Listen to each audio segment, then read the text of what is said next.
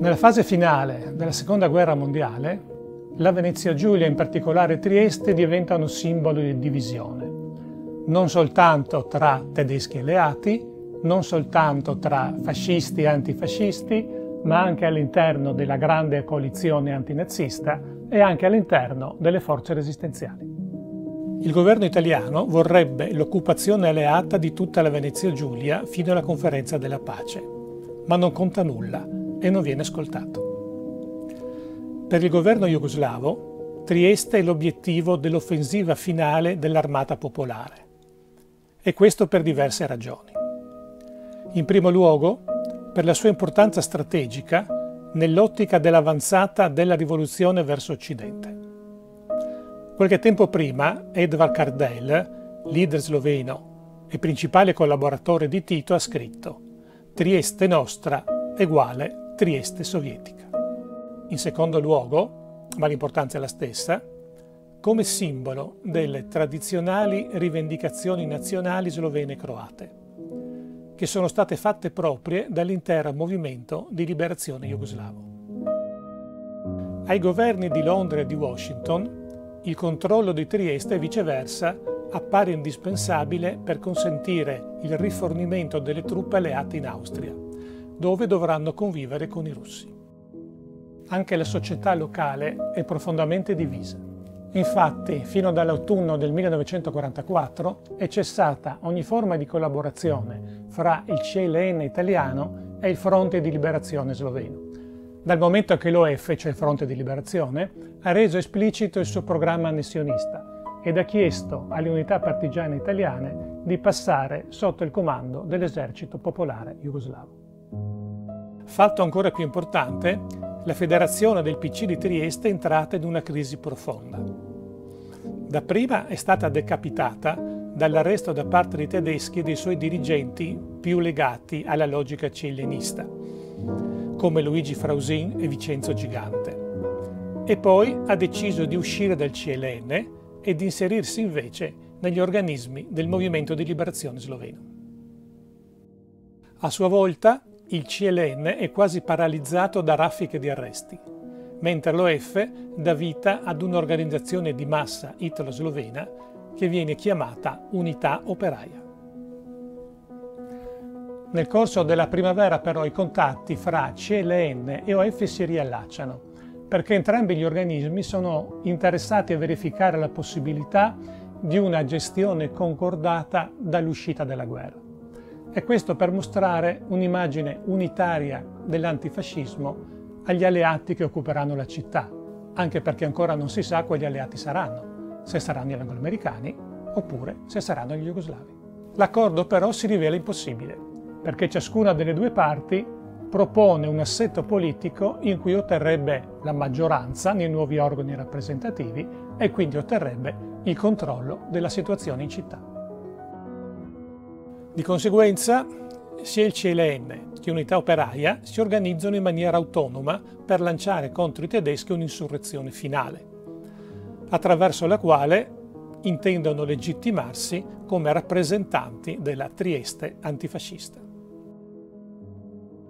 Da parte loro, anglo-americani e jugoslavi non riescono ad accordarsi su di una possibile divisione della Venezia Giulia in due distinte zone di occupazione. E quello che ne consegue allora è stata chiamata la corsa per Trieste, cioè la competizione per chi arriverà primo nella città. In realtà si tratta di una corsa abbastanza particolare, molto asimmetrica.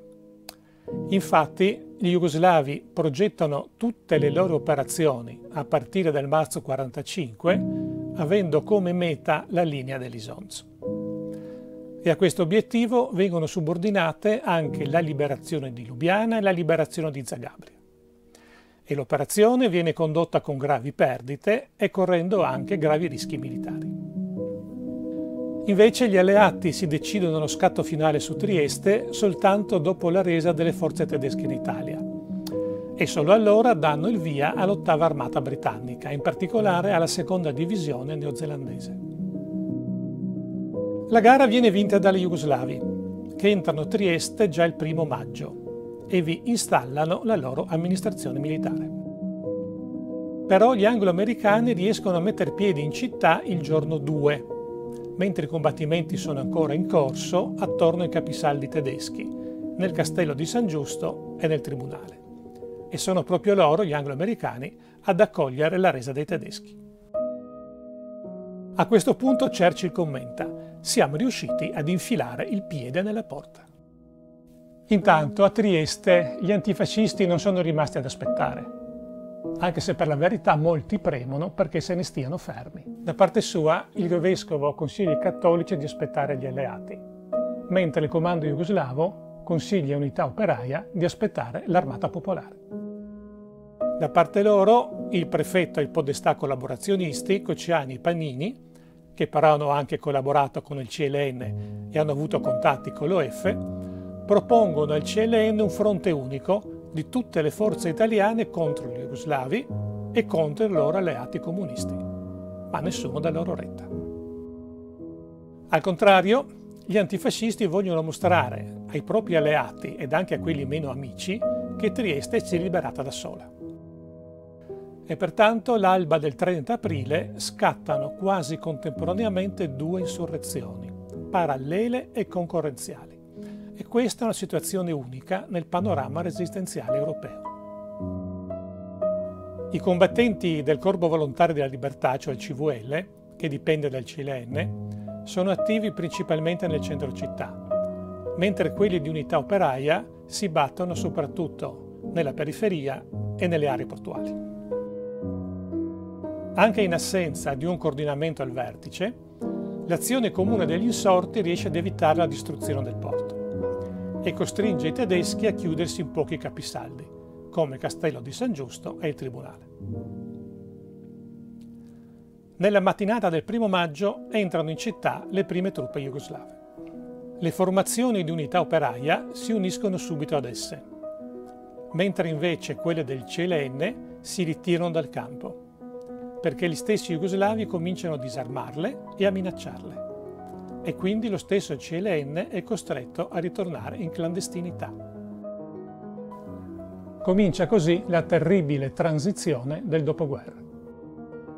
A livello diplomatico scoppia la crisi di Trieste, la prima del dopoguerra, che si conclude il 9 di giugno con la divisione della Venezia Giulia in due zone di occupazione e il ritiro delle truppe jugoslave da Trieste, da Gorizia e da Pola. Sul campo le autorità jugoslave avviano una dura repressione di quelli che vengono chiamati i nemici del popolo. La maggior parte della popolazione italiana ne è terrorizzata e questa esperienza si fisserà nella memoria collettiva come le foibe giuliane. Di conseguenza, la percezione della liberazione, o meglio delle liberazioni, è molto diversa. Gli sloveni e gli italiani di orientamento comunista vedono nel primo maggio la data della loro liberazione, non soltanto dall'occupazione nazista, ma anche dal fascismo, dallo Stato italiano e dal capitalismo. E quindi per loro il ritiro delle truppe jugoslave è una cocente delusione. Viceversa, i filo italiani percepiscono gli eventi del primo maggio e delle settimane successive come una catastrofe nazionale. Celebrano invece come momento della loro liberazione il 9 di giugno, quando ritornano a respirare.